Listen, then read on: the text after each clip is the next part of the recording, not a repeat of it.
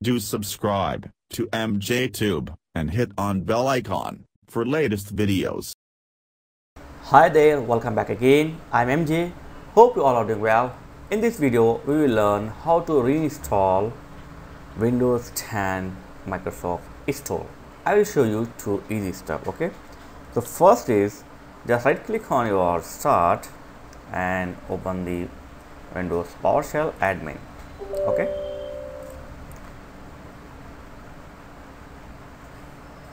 So here copy paste the code. I have given this code in my video description links. Just press the control c to copy and here press control v to paste. After you paste it hit enter.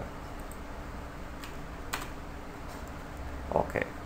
So it's, it's uh, doing the processes so wait until it's finished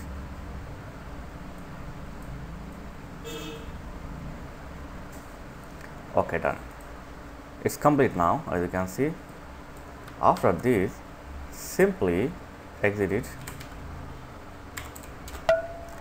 and restart your PC so restart your PC after restart hopefully your Microsoft Store will run perfectly.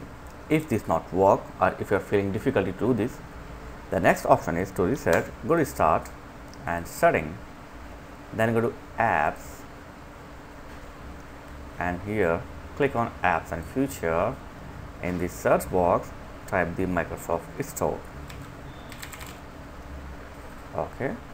Extend this and go to advanced option.